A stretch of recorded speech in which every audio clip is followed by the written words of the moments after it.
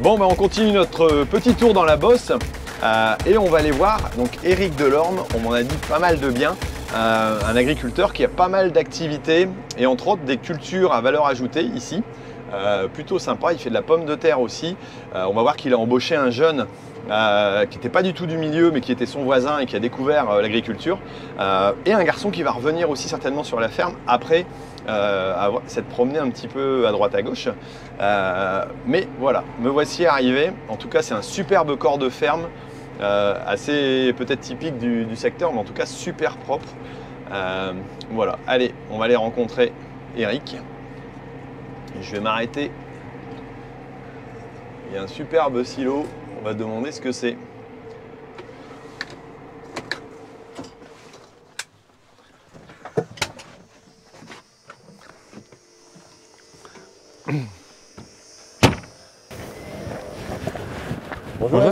Ça va, et toi La forme Bienvenue à l'ERL du domaine. Bah écoute, Donc euh, en, pleine bosse. Oui. Toi, ça va Opal. Opal, ça va hein Bon, euh, t'as un superbe corps de ferme ici. Hein.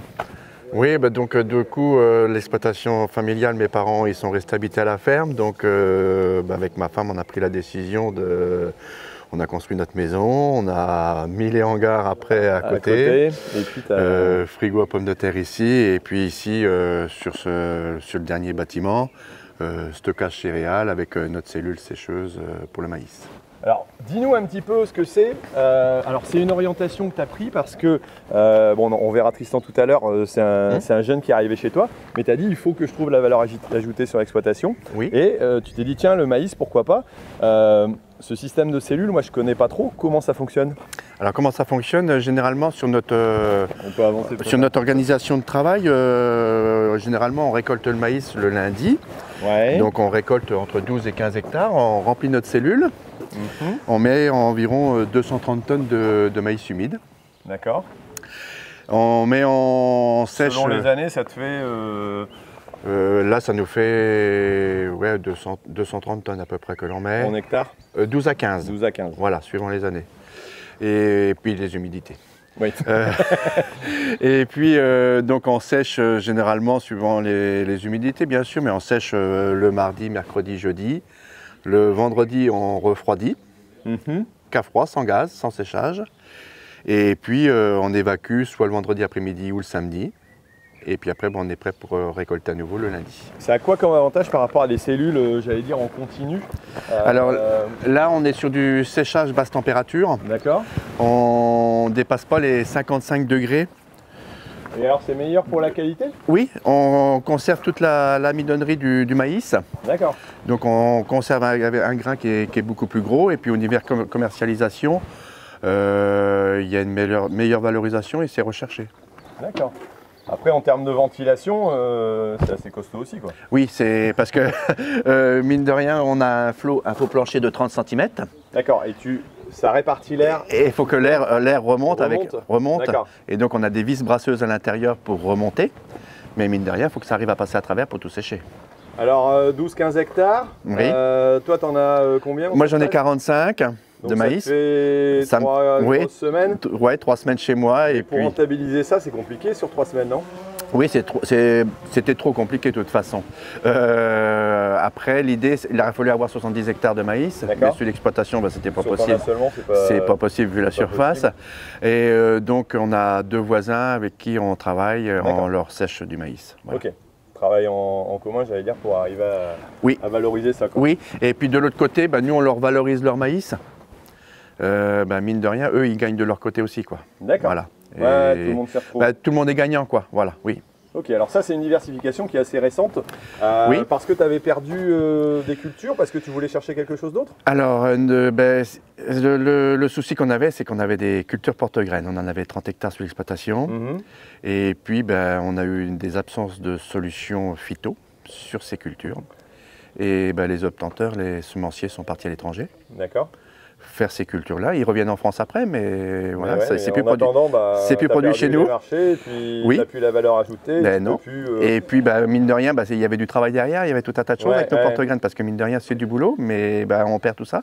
Ça déséquilibrait l'exploitation par rapport à Ça déséquilibre. du travail. Mais oui, parce que il y, avait, il y avait l'embauche d'un salarié, il y avait Tristan qui était là, y avait, il y avait plein de réflexions à avoir. Donc euh, bah, c'est vrai que euh, ça fumait un petit peu quoi, de se dire bah, comment, comment on s'organise, qu'est-ce qu'on fait quoi. Et, et puis on avait la fermeture de notre sucrerie à côté qui, est- Mmh. euh, qui, qui posait, qui nous a posé quand même des questions. Aujourd'hui, bon bah, c'est résolu. voilà, nous on va continuer la culture de betterave et ça va s'orienter un petit peu plus loin. Mais bon bah, tout ça, ça, ça a créé des choses quand même. Euh, concernant euh, bah, l'intégration du, euh, du maïs par rapport à nos porte-graines, bah, voilà, c'était de trouver quelle culture qu'on met en place sur l'exploitation qui nous permet de faire travailler tout le monde, Mhm. qui nous ramène de la valeur financière Ouais. euh, et qui s'intègre bien sur notre exploitation. Mhm. Et il a fallu euh, que Il a fallu ça. chercher un peu, mais vous avez trouvé une solution. Quoi. Oui, il fallait que ça matche. hein, euh, voilà. Je voudrais bien voir euh, Tristan peut-être après, mais j'ai envie de grimper dans la cellule Oui. et voir à quoi, quoi ça ressemble. Pas de problème.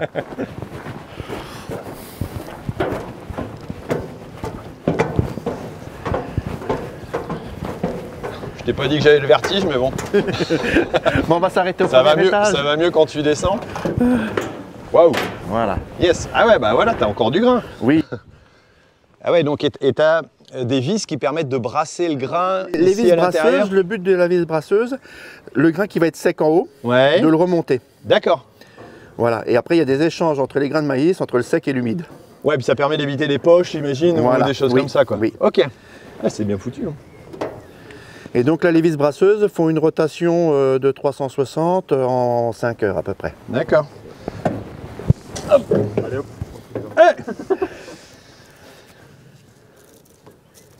Et alors, il a une qualité spécifique, ce grain-là, par rapport à un autre? Oui, parce que si tu veux, au niveau séchage, on est à basse température, on ne dépasse pas les 55 degrés.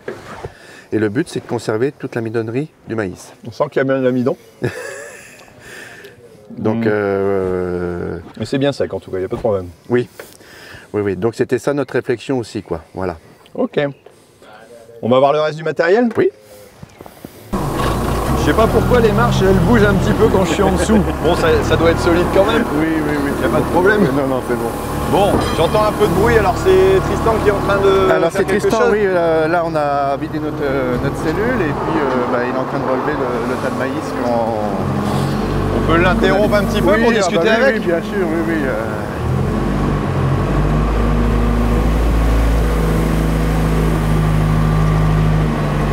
Donc là, une fois qu'on vide notre cellule, on vide nos remorques ici, puis il faut qu'on relève notre tas après pour, euh, pour ventiler à froid aussi, quoi. D'accord. Et contrôler nos températures euh, qui sont enregistrées. euh, Donc là, tu stockes, euh, tu stockes, tu stockes pas que du maïs, tu mets aussi les, on, les on autres met du blé, céréales à la, du blé à la moisson, on met euh, 450 tonnes de blé et puis euh, 900 tonnes de maïs à peu près. Voilà.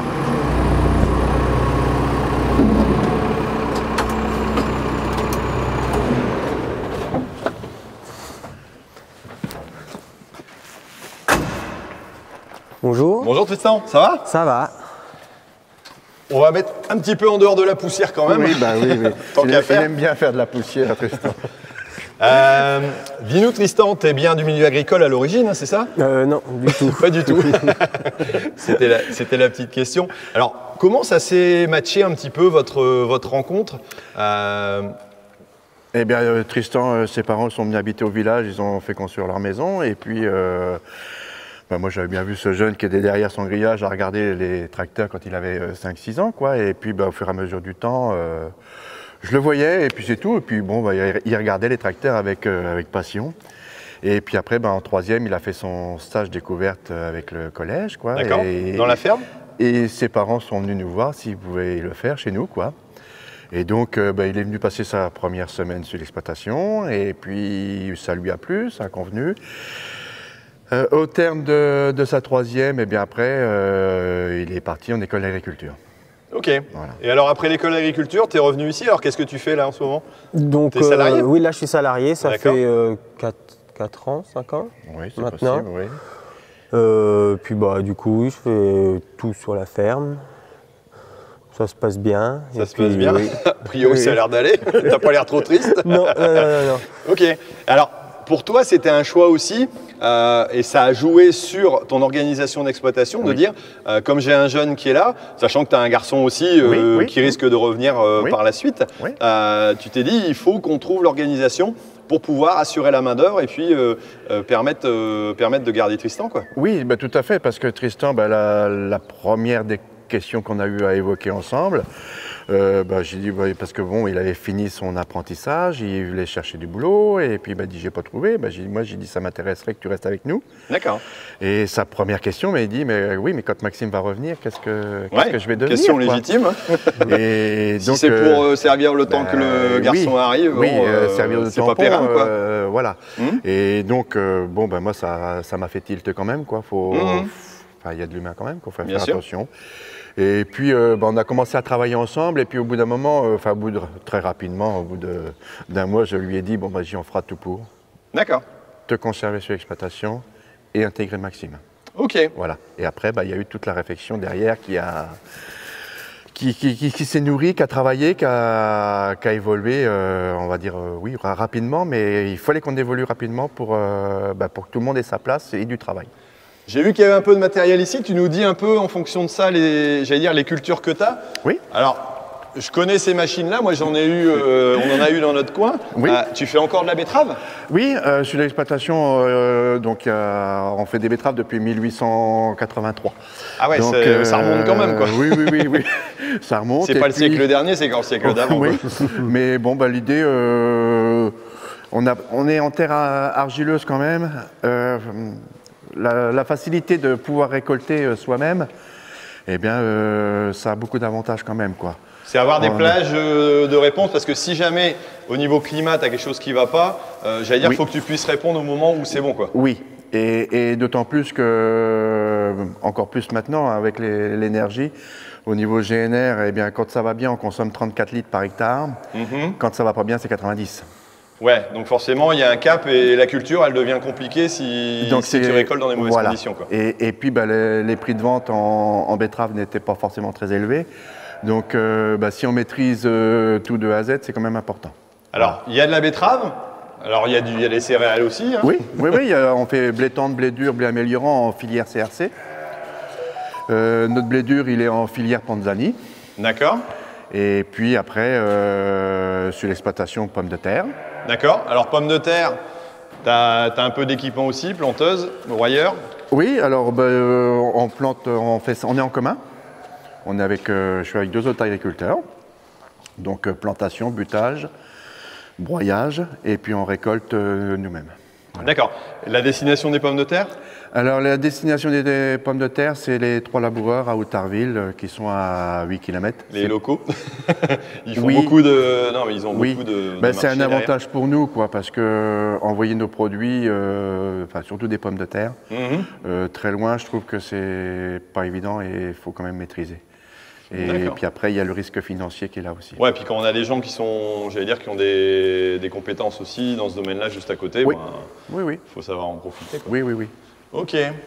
Toujours du, du séchage, ça c'est pour les céréales, j'imagine Alors ça, c'est pour, euh, bah, c'est pour notre bâtiment. euh, on le fait encore un petit peu évoluer euh, parce que euh, au départ, c'était notre première année de stockage. Là, on a remonté les murs d'un mètre. Et puis on va remettre des thés en béton et puis on va remettre un peu de ventilation. D'accord. Voilà. Panneau photovoltaïque, c'est une évidence pour toi? Oui, c'est une évidence parce que faire aujourd'hui un bâtiment sans, sans panneaux, euh, non. Faut- faut- pour moi, il faut mettre des panneaux, oui. La rentabilité des panneaux est très bonne. Donc, et puis ça a bien évolué, les onduleurs sont performants. euh, et puis on a un fournisseur local qui est le groupe Roi Énergie qui est à 6 km de chez nous, qui est au niveau national, qui est, qui est reconnu et puis qui font du bon boulot. T'aimes bien euh, le local, toi hein? Oui, parce que j'ai- j'aime bien connaître mes intervenants. Et puis c'est surtout quand j'ai un problème, je peux aller toquer à la porte et puis euh, résoudre le problème C'est aussi par intérêt, mais c'est légitime, euh, je Oui, pense. parce que je pense que euh, on l'a connu euh, avec les panneaux photovoltaïques au départ, quoi. Ouais. Euh, des gens Les qui venaient de, pas très bah oui, qui venaient de, de très loin et puis qu'après, ben, il n'y a plus de, il y a plus personne pour pour réparer l'onduleur, quand il y a un problème. ben, moi, j'aime pas trop, quoi. Donc, euh, et puis, bah, on a des gens qui font très bien leur boulot à côté, il faut en profiter.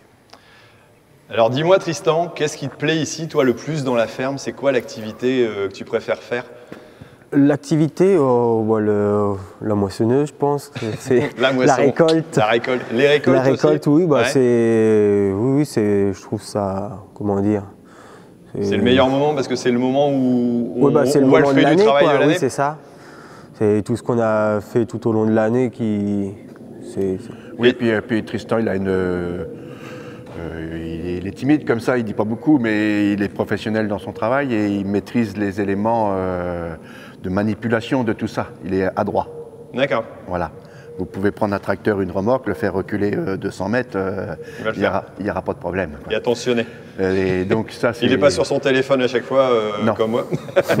non, non, non, mais c'est une qualité. Quoi. Moi, je, Ouais. je lui laisse la moissonneuse. euh, c'est quand même des outils qui coûtent relativement cher. Il faut faire attention à la récolte, il y a tout ça à faire. Et il le fait. Et je Alors, comment ça s'est passé? C'est toi qui lui as donné ta confiance ou grâce à ses qualités, tu peux avoir confiance en lui? Alors, je dirais, grâce à ses qualités, j'ai confiance en lui. Et puis, inversement, je le connais bien, donc j'ai confiance aussi en lui. C'est important lorsqu'on travaille avec quelqu'un. Ah, oui, oui. Oui, c'est primordial. ouais. Bon, j'ai vu que tu avais un autre bâtiment, tu as un peu de matériel aussi Ouais. de l'autre côté, on va aller voir euh, comment ça se passe, parler un peu des autres cultures. Oui, tout à fait. Euh, bon, ici, on est dans la bosse. Oui. Euh, la bosse sans irrigation, euh, ça n'existe pas, c'est pas possible. Ah, c'est compliqué, je pense. hein. On a beau avoir des bonnes terres et tout, sans irrigation, ça, c'est plus la Beauce, quoi. Alors là, tu es en train de refaire un forage, c'est ça? Oui, on avait, sur l'exploitation, on avait un forage qui est- où on n'était pas propriétaire. Et on s'est dit, si un jour c'est vendu, euh, voilà, on n'aura pas la maîtrise. Donc euh, aujourd'hui, on a eu les autorisations pour refaire un forage.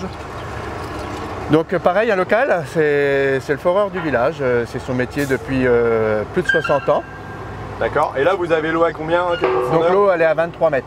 D'accord. Voilà. Et vous avez des volumes conséquents Alors euh, ça, on a des volumes, des quotas qui sont attribués sur- par exploitation. Ouais. Voilà. Ouais, il y a une bonne gestion de, de Oui, ça, il y a une bonne on- gestion qui date de, de 25 ans, quoi. Voilà. Ouais, qui est un peu obligatoire 25 ans, j'allais dire presque maîtriser euh, les 30 choses. ans, quoi, qui est, qui est individuel, et c'est très bien, ouais. ouais. Ok, bah allez, Ouais. on continue. Alors ça c'est quoi? C'est un cueilleur à, à maïs? Alors ça, c'est notre cueilleur à maïs, qui est à 50 d'écartement. Ah d'accord, vous semez à 50. Voilà. Ben, parce que euh, bon, il nous reste quelques hectares de porte-graines et puis nos betteraves sucrières euh, qui sont à 50. Donc, euh, Ouais, vous avez standardisé. euh, oui, ben, oui, parce qu'on a une bineuse par caméra, donc ça nous fait les, les trois cultures. Et puis après, ben, l'empattement de nos tracteurs, euh, ça nous facilite les choses. Ok. Machine à pommes de terre Oui, avec trémie Oui, oui, oui, euh, arracheuse à pommes de terre deux rangs. Donc euh, on récolte. euh, Vous essayez de trier tout au champ ici? Oui, l'idée euh, c'est de trier au maximum au champ et de stocker dans le bâtiment en caisse de 2 tonnes. D'accord. Voilà. Alors, toi, depuis, depuis longtemps, tu as, essayé de trouver des filières de, de qualité. Tu disais en, en céréales, c'est CRC, c'est ça? Oui, une partie en CRC, oui.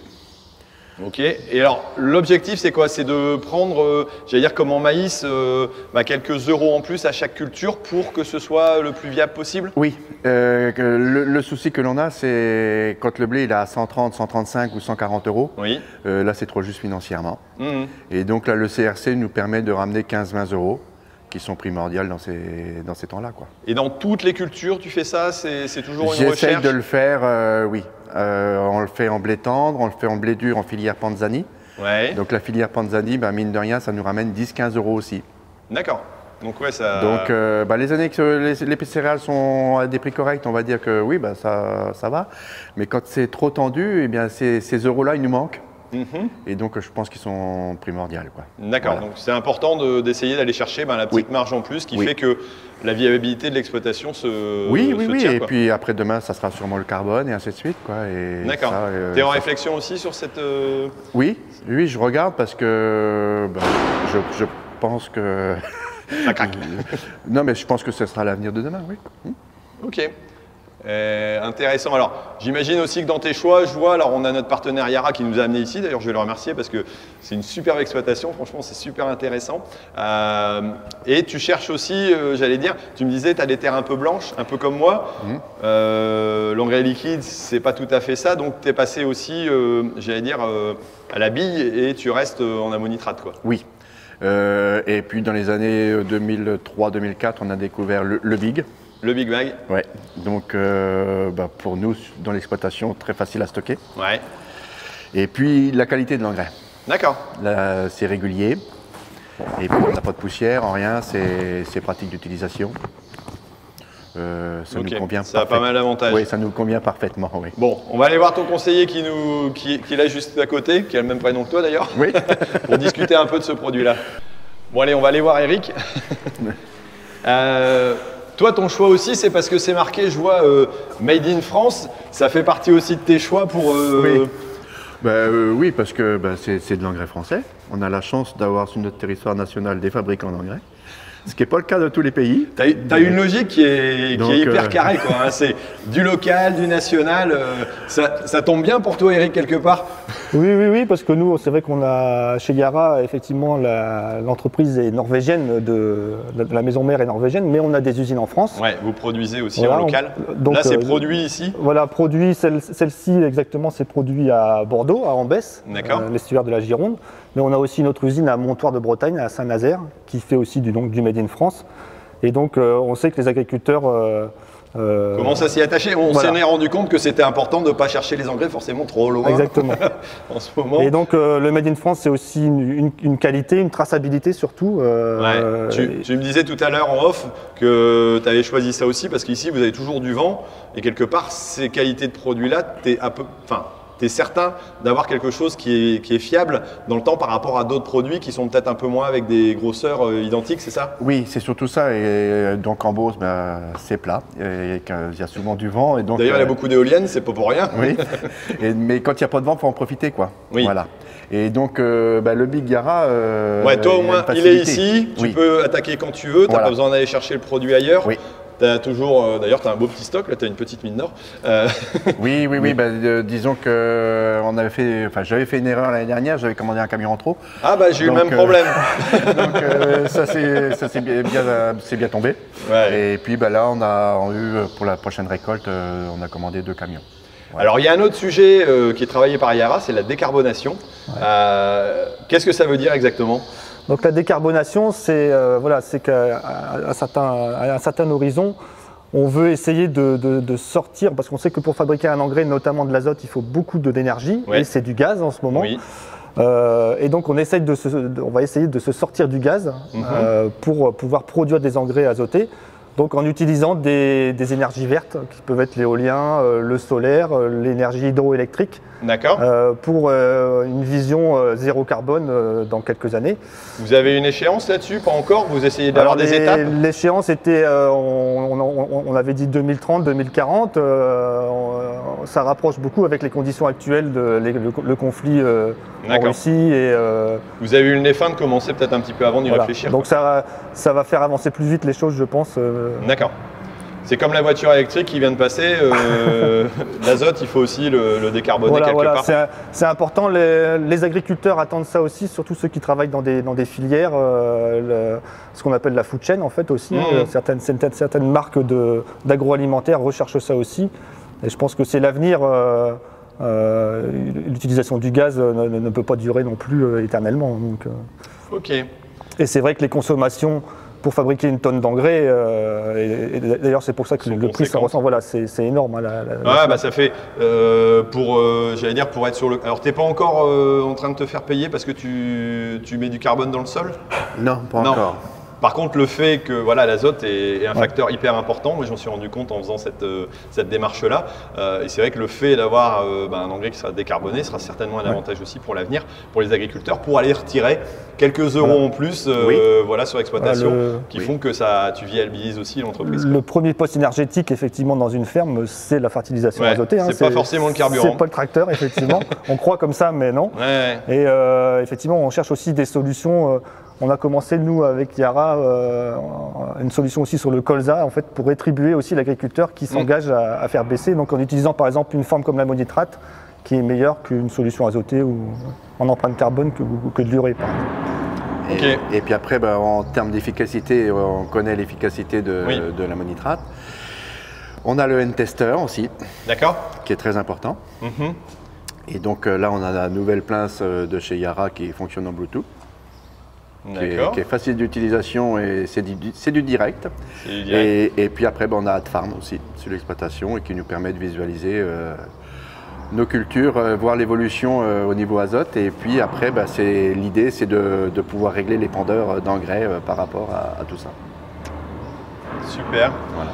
Alors, s'il y en a qui veulent te suivre un petit peu sur les réseaux, il me semble que tu es sur les réseaux, non? Sur Twitter? Alors, alors, Facebook? Twitter, oui, tu- oui, je suis sur Twitter, oui, oui. Serais-tu te serais-tu un France Agritweetos par hasard? Oui, oui, oui, euh, il n'y a pas très longtemps, mais euh, parce que j'ai découvert Twitter il y a, il y a deux ans. euh, par euh, Rémi Dumry euh, dans le Loiret en, en formation. Voilà. Et donc, euh, bah, je, je me suis mis sur Twitter et je trouve ça très bien. C'est bien de communiquer? Oui, oui c'est très important parce que euh, bah, tu le sais très bien, euh, communiquer sur notre métier euh, est devenu important et pas seulement que pour le monde agricole, mais pour les, les non-agricoles, voir ce que l'on fait et présenter nos pratiques. Et tu fais une démarche qui est cabine ouverte, c'est ça? Oui, alors ça, Alors, tu mets- ça fait la 5 ou 6e année qu'on le fait.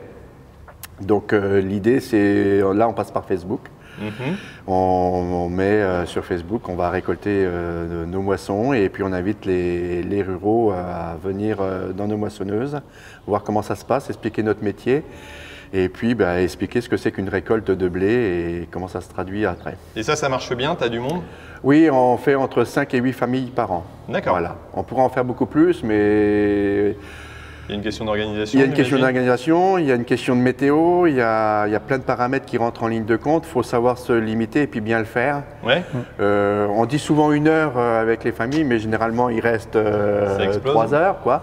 Mais, mais c'est très bien parce qu'il y a plein de questions. Et puis bah, on essaye de faire un café, un- une discussion au- autour de la moisson et, et puis d'échanger. quoi. Parce Ah, qu'il mais- y, a des- il y a des préjugés qui sont... Et qui tombe vite lorsqu'on discute Oui, mais oui. alors là c'est plus que rapide parce que bah, les gens ils ont vite compris. Quoi. Voilà. Mhm. Euh, la, la question qui a été la plus flagrante, on va dire, pour moi, c'est euh, quand on irrigue, on était dans la moissonneuse et la personne me dit, euh, sans, sans arrière-pensée, mais me dit, mais quand vous irriguez vos champs, des fois ça mouille la route et on prend des pesticides sur la voiture. Ah oui. Alors euh, non, j'ai dit on, on irrigue, c'est que de l'eau, quoi. Voilà. Et bah, la, la dame me dit, mais on m'a dit que. Mhm. Mais non, c'est voilà. C'est souvent une idée reçue. et Ouais, puis une fois et là, c'est là que j'ai un petit peu compris tout le sens de la cabine ouverte. De dire, ben non, c'est pas du tout ça, c'est c'est que de l'eau, c'est- et c'était important. Et la dame, elle est repartie rassurée avec son enfant. Quoi. Bon alors je te propose donc dans ce cas-là d'aller voir euh, le projet que j'ai en place qui s'appelle Dans les bottes, qui va t'intéresser parce que c'est pile avec ça pour pouvoir justement ouvrir non seulement ces cabines mais aussi ces fermes à faire des visites. Euh, vous aussi vous pouvez aller jeter un œil parce que c'est en route. Euh, donc on en reparlera un petit peu après. En Avec tout cas je suis super content d'avoir rencontré euh, grâce à Eric Eric. voilà, euh, très belle exploitation. J'espère que vous aussi, si c'est le cas, ben, mettez un petit commentaire, mettez un petit j'aime. Et puis ben, retrouvez donc Eric, donc tout simplement sur les réseaux. Mmh. C'est comment ton nom sur Twitter? Alors, c'est Eric 3 Delorme. voilà. Et puis, Yara, j'imagine que vous êtes aussi Ah, un peu sur les Alors, réseaux Oui, oui, on est sur Twitter, Facebook, euh, et moi personnellement également aussi, euh, donc euh, à travers toutes mes activités que je peux faire auprès des agriculteurs. On essaye de communiquer aussi positivement sur l'agriculture. Ok, je vous mets les liens de tout ça ici en dessous dans la vidéo. Et puis, nous, on se retrouve bah, pour d'autres vidéos. Et moi, je repars avec le tracteur pour aller voir encore d'autres exploitations. Je ne sais pas si elles seront aussi bien que ça, mais en tout cas, elles sont toutes différentes et toutes intéressantes à visiter. Merci. Merci Thierry. Merci. Allez, je repars.